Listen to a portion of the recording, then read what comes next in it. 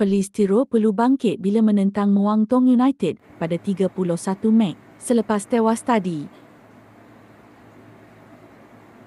Tan Cheng Ho mengalami kekalahan pertama bersama Pelistiro apabila pasukan itu tunduk kepada PT Prachuap dalam aksi terbaru Thai League satu hari ini.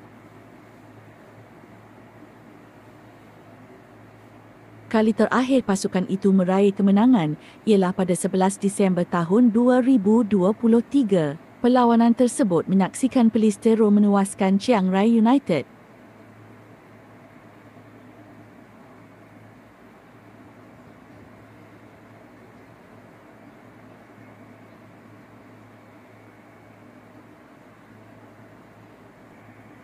Pelistero terus berdepan kesukaran apabila bat tengah berdarah Australia-Thailand Max Treve dibuang padang pada minit ke-67. Treve sebelumnya hanya dilayangkan kad kuning selepas membuat terjahan ke atas pemain PT Prachuap.